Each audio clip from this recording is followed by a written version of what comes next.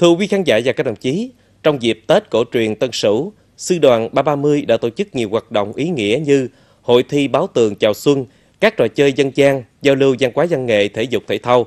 Đặc biệt, năm nay là năm thứ hai liên tiếp, sư đoàn tổ chức hội chợ xuân nhằm tạo không khí vui tươi phấn khởi cho cán bộ chiến sĩ những ngày đầu xuân mới. Mời quý khán giả và các đồng chí theo dõi ghi nhận của Quang Đức và Hoài Tâm. Đời như chít lá cùng bên sông Đời em là cát muốn tuôn lại đời tôi Điểm nhấn của hội chợ xuân năm nay là trò chơi quay vòng trúng thưởng bingo, còn có tên gọi dân dã khác là lô tô. Trò chơi mang tính cộng đồng với nhiều người tham gia, mang đến sự náo nhiệt và gợi nhớ không khí ấm áp của gia đình. Đây là lần đầu tiên sư đoàn tổ chức trò chơi này. cái cánh của tiểu đồng 16 là sang 10 bắt chào đồng chí phong trào ta lấy người may mắn trong chương trình ngày nay ạ Đây là lần đầu tiên tôi ăn Tết xa nhà khi nghe tin được trò chơi bingo tương tự như dùng một trò chơi kêu lô tô ở quê.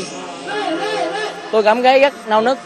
Nó đem tôi đem cho tôi cái cảm giác giống như là như ờ, đang ở nhà, như ờ, trò chơi ờ, lô tô ở quê hương của tôi.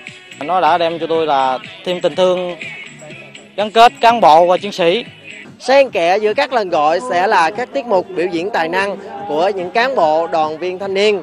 Đơn giản không chỉ là một tiết mục nghệ thuật nữa mà đó là sự truyền cảm hứng giữa các thế hệ mà đặc biệt là xây dựng mối quan hệ đoàn kết gắn bó giữa cán bộ với chiến sĩ.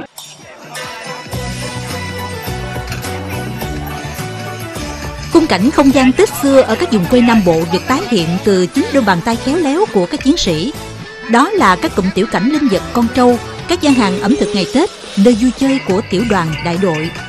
Cùng với đó là những món ăn thân thuộc này đã mang không khí Tết quê nhà đến với từng cán bộ chiến sĩ, nhất là những ai lần đầu ăn Tết xa gia đình. Đối với tôi là một cái Tết à, đặc biệt, an lành, vui vẻ và theo những phong tục tập quán của người dân của ta ngày xưa đến nay.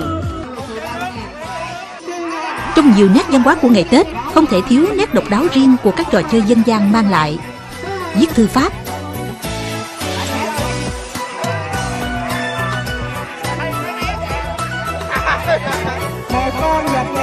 ném dùng bắt dịch,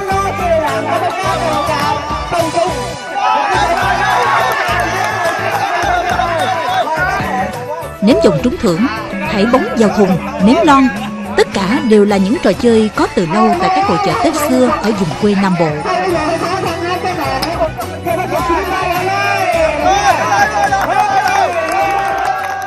viết chữ thư pháp ờ, trong dịp Tết là để thể hiện ờ, sự ờ, may mắn cho mọi người.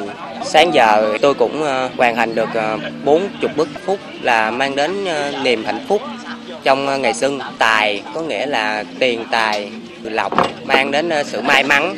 Cảm thấy rất là vui khi à, ở trong đây ăn Tết được một năm ở đây thật là có ý nghĩa. thông qua cái hội chợ xuân tiếp tục tìm hiểu về Tết cổ truyền của dân tộc và đặc biệt là các văn hóa của từng vùng miền, thì à, tôi tin tưởng rằng cái hội chợ xuân sẽ à, tạo cái động lực cho toàn thể cán bộ chiến sĩ toàn sư đoàn an tâm và quyết tâm thực hiện thắng lợi cái nhiệm vụ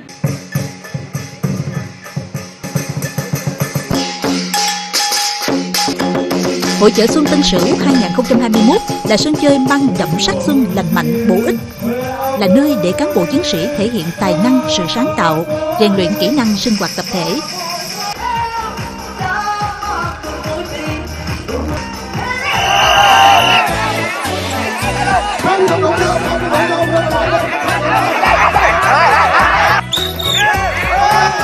Không khí, tinh thần phấn khởi này sẽ là bước đà thuận lợi để cán bộ chiến sĩ sư đoàn 330 tiếp tục phát huy và thực hiện thắng lợi mọi nhiệm vụ được giao ngay từ những ngày đầu năm mới.